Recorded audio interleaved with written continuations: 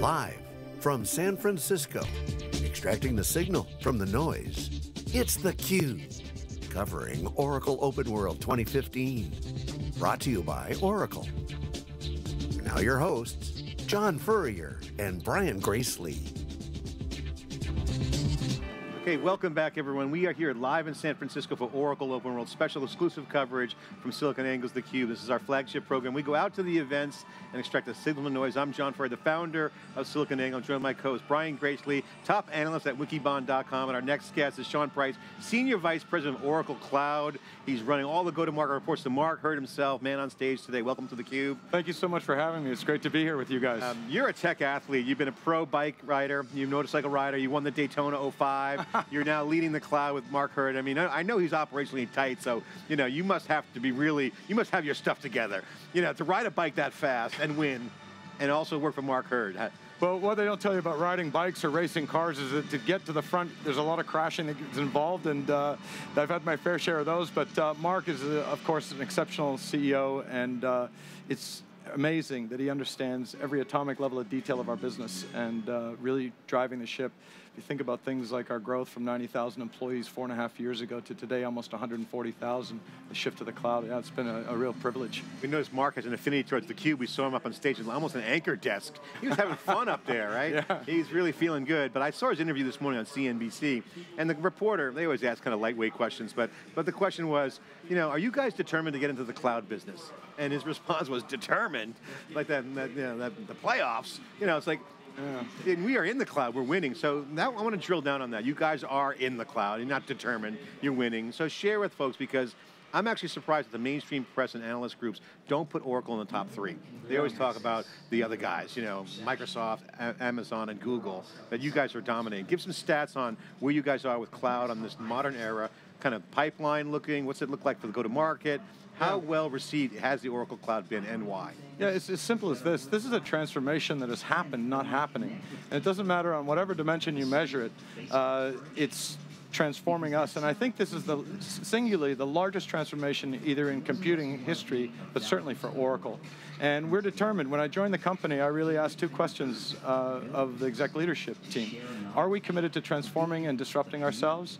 And will the skill sets that have made us so incredibly successful over the last decades transfer to the new world? And I mean, you need to look no further than what we've done in terms of our compensation with our sales teams, how we're addressing our customers, migrating support revenue streams to modernization in the cloud. And so, and then the skill sets. The world has moved from sort of this notion of best of breed single app to now it's a complete platform where you need data, SaaS, platform as a service to extend and, and uh, infrastructure to run certain compute, compute it's storage. a database transformation right now. That's Oracle's core. You talk about customers and the sales motion with the, with the sales force. Yeah. They're in the front lines every day. What is the Oracle Cloud strategy with respect to um, the product and the sales motion specifically? You know, platform as a service is really strategic on a couple of dimensions. I think, I think the first use case is clearly extensibility. Um, SaaS has historically been isolated. Everybody gets the same level of code. So then the question is, how do you build IP? And how do you take this ecosystem of partners that in some cases have 50,000 certified consultants with 21,000 Java developers and monetize the IP they have to extend? So SaaS extension is one. In the new world of enterprise SaaS, it, you don't flip the switch on your ERP overnight. You coexist with PeopleSoft, JD Edwards, EBS, and then you add HCM in the cloud. Well, we use platform to integrate those two uh, via product, you know, so that we can coexist. And if you look at database as a single unit of work, we have 40 of these services, by the way. Uh, we're seeing that there will always be units of work that stay behind the firewall and run mission critical work that should be there. But increasingly, things like app dev test and database in the cloud, they're comparing two dimensions. They're saying on-premise, it's 88 steps. I've got to have provisioning, network, storage, IT, or it's five clicks and I migrate to the cloud. So there's pent-up demand in the customer base saying, help me take TCO out of my running infrastructure by moving units of work to the cloud. Well, let's talk about TCO. Brian, let Brian, Brian's going to jump in. I want, well, since hey, you brought up TCO, I want to get that on the table because that's a big thing. Cloud looks great with price and price attractive and economics all are all great, but there is a cost of ownership of cloud. What does that look like? And how does the customer actually start putting that together? Because there aren't a lot of models out there for cloud cost of ownership. Can you share some insight on what you guys have found? Any kind of best practice, any kind of equations, any kind of tips? Absolutely. I, I think there's two parts to this. If you just stay with the database example for a minute, um, if you look at what it costs to migrate a unit of work to the cloud. Well, most companies, uh, particularly the big outsourcers, are taking out facilities cost of $50, hardware of 100, 500 in license. But by far the biggest cost in the TCO is the operating cost. And when you go to an Amazon or an Azure or any of these companies that run those personal productivity units of work, they don't solve the one thing we do. We take out 70% of that in the operating cost around maintenance, no more maintenance, no more upgrade, no more patching, no more DBA. And Oracle on Oracle is uniquely able to do that, unlike any of these others that run Oracle units of work that we're migrating. I mean, that's an immediate one. I think what was announced today with uh, John Fowler and the hardware group has, has uh, applicability as well.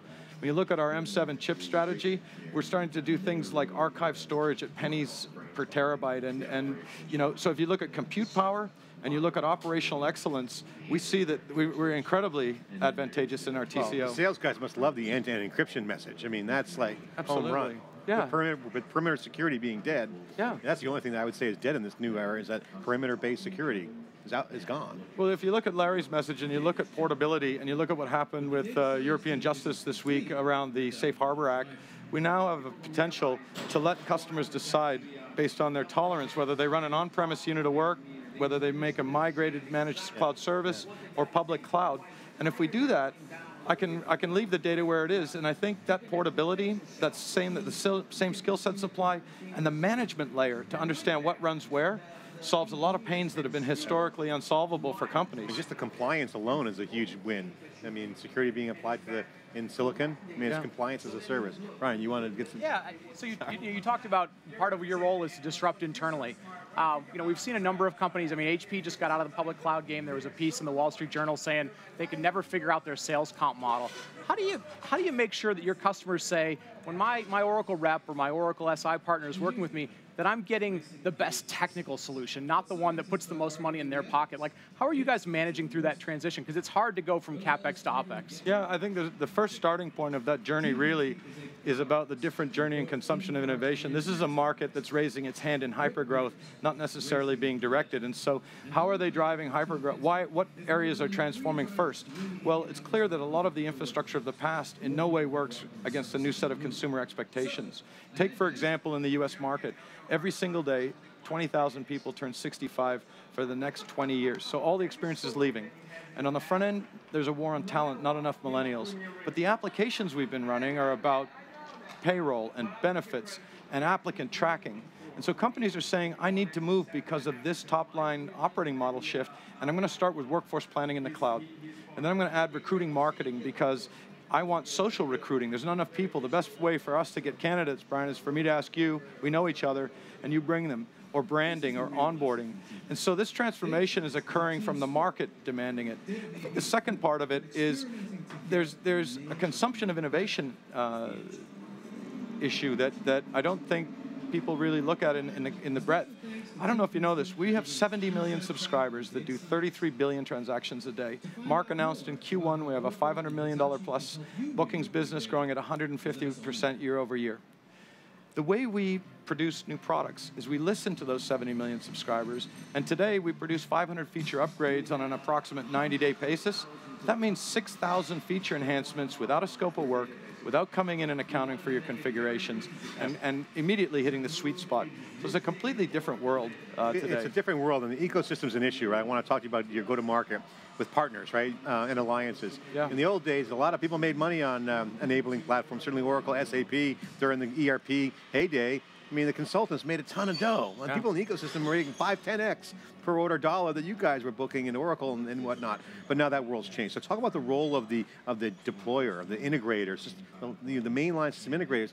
They're starting to get in the cloud business, or they're getting in the tooling business. So that has shifted. So talk about the landscape of the partners, and how do they make money with you guys? Because at the end of the day, it's a, it's a shared go-to-market. Yeah. You're seeing that out there, you mentioned that. What does the mainline SIs and what do the new SIs do with you guys? How do they make money? Yeah, I, I, think that they're having to respond to the transformation that we are, which is the customers are saying, I know it's not only about big bang transformation, I'm in the line of business, I'm the CHRO that has this shortage of talent, and so they've had to rethink how companies adopt and what the re respective options are. I think also there's been a fundamental shift from just implementation dollars to now specific, specification. Companies are putting the big companies and small company digital natives and born in the cloud into a position to help guide that digital transformation. So their revenue streams, I think, are numerous. It could be on specification. It could be on cultural adoption and, and change management and process, which are sort of really big sweet spots. And in order for transformation to occur, two things need to be present. Technical innovation, which we have, and behavioral innovation. And I think the combination of our channel plus what we do technically is unparalleled. I guess the last point I'll make is it's really unique. Imagine coming with my ecosystem across ISVs and resellers and SIs, you know, 85,000 consultants deep, yeah. and the same skill sets that you're already trained on apply seamlessly to the cloud. So we're seeing great adoption, yeah. great traction. And what's the, what's the uh, update there on, here at Oracle Open World? What's the uh, SI and partner message that you guys are putting forth? We're, any new announcements? Any yeah, big news? We, we announced a program uh, this week, which is uh, a new cloud program. We announced uh, here saying that we're going to have a cloud, four layers of a cloud program. Top layer is Cloud Elite. And we would like our partners to align to our strategic direction. That's not to say that Diamond and all the programs that are on-prem don't exist, they do. But we need to pivot to the cloud fully through our ecosystem. And part of what the feedback is, as I've talked to hundreds of customers and CEOs of these partners, is they're saying, look, we need your help. We want to know how you measure us in the cloud. It's no longer about certification and, and, and number of consultants, if you don't get utilization, if you don't get go live, if you don't get expansion, you never renew, you never expand. And so we're aligning a different measurement system. They're saying, we need help in your messaging. What's repeatable? We need help in uh, targeting against your install bases and how to engage. So we've announced a new program, four tiers, Cloud Elite. It will uh, we're building it now. What's the Cloud Elite look like? What, take us through who a, who a profile We, we haven't announced like. all of the criteria. In fact, what I've used this platform for is an opportunity to actually solicit input from our community so that we hit the right mark. So but you're doing some due diligence, getting some requirements. We're absolutely trying to line that. that. up with how you guys. So how do the people make money with you guys? Because now that's ultimately the economic question. Sure. What's in it for me? Sure. You know, you're my partner. How do I make how do I make the cash? You can take any layer of the stack that I just described. I mean, you could take data as a starting point, and you could build all of the data practices in the world off data as a service. I have 600 SaaS apps in the market today. All of those need to be integrated. All of those have to be enabled and expanded. Platform as a service is a unique revenue stream. Imagine if I said to you, I have 400,000 customers with captive Oracle units of work that you can take all your trained consultants and point at this new revenue stream. So PaaS becomes a new revenue stream, and then the associated infrastructure as a service to work through that vertical compute to support PaaS. So you guys have a lot of margin to work with in the cloud. I mean, cost of goods sold is pretty much sunk costs already. Mark talked about that on CNBC. A lot of margin to play with. He said something, I think 80 points margin, big numbers here. Yeah. How do you guys take that margin and reinvest in the company uh, on, uh, from your standpoint? How are you guys going to take that to the next level? And, we, and, how do you judge yourself in the next by the next year? It's really simple. I think in terms of sort of the judgment from my perspective, it's about did customers go live? Did they use the subscription? And did they get value from it? And that drives all else because if that model doesn't exist, uh, you don't get renewal, you don't get expansion, the customer acquisition costs are off, the R&D sunk costs don't relate. And, and if we just make it that simple, go live, use the subscription, and renew and value, I think that you could look across any dimension of the company.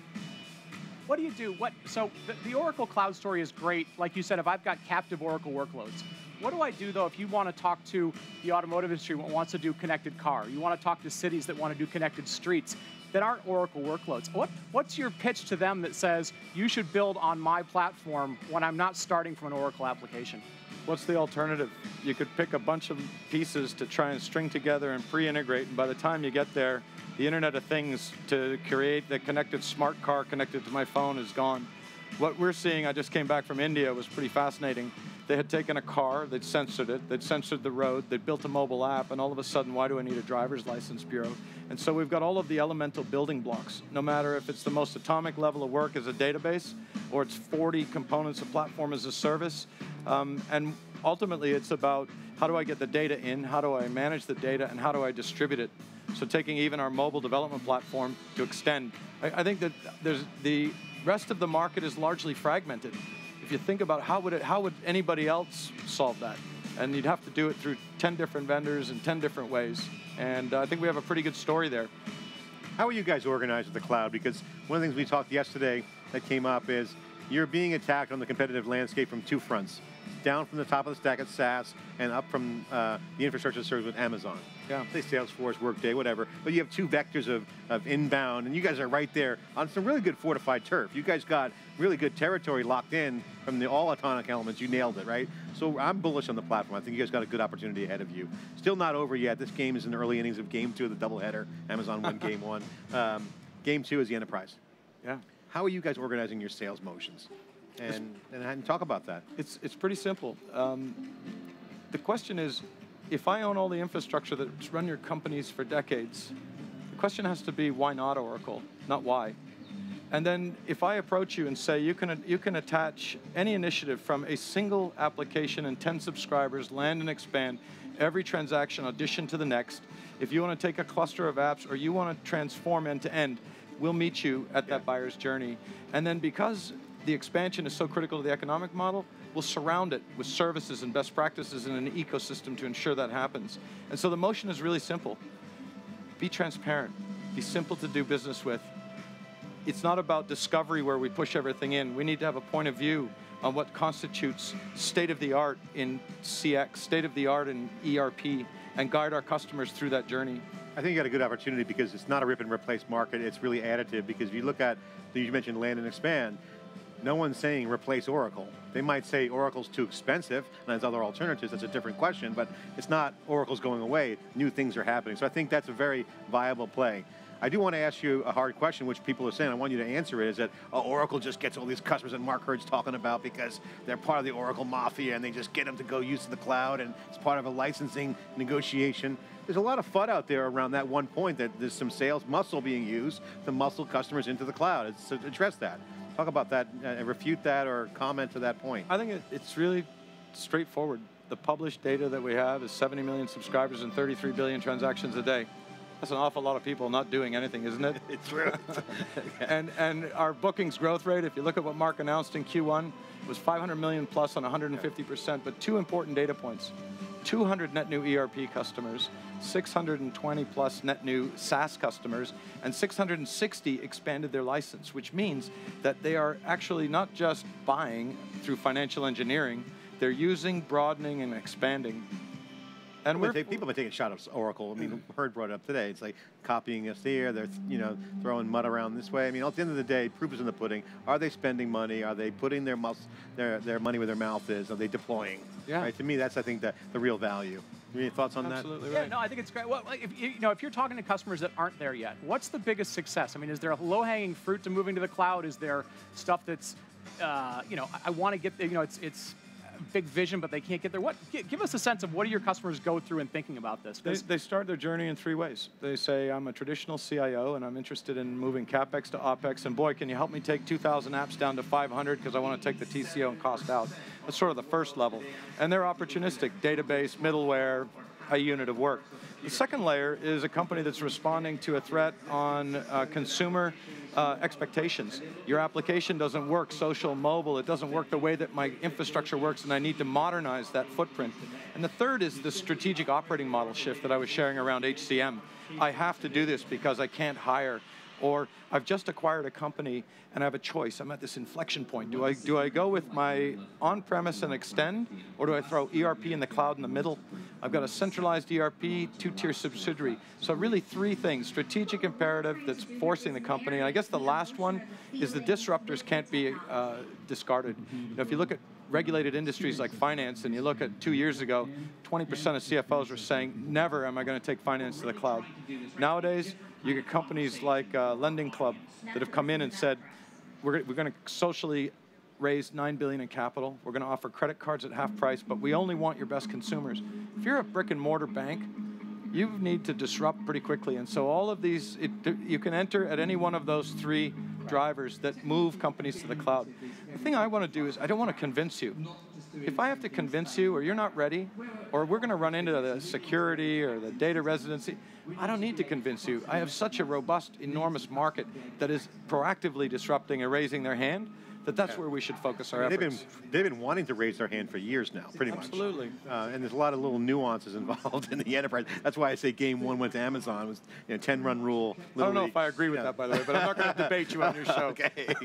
Uh, well, I we can't only- just roll over on that. we one. have to, Sorry. have to wrap. Let's get on for another segment. We'll go overtime. Um, I do, I do love the, the go-to-market. I think you guys have a great. I think you have a great job. I think you have a fantastic opportunity, and certainly exciting. I mean, the- be disrupted is being disrupted is a big thing. If you don't disrupt yourself, I think that's the thing. So I'll give you the final word uh, for the audience. If they're not here at Oracle Open World and they're watching Oracle Cloud, what would you like to share with them about the show and Oracle Cloud in general? I think that um, everyone who has a cloud initiative should have us in to talk about our viewpoint on what we think state of the art is, whether that's moving an individual component, looking at a managed service, or disrupting SaaS or PaaS.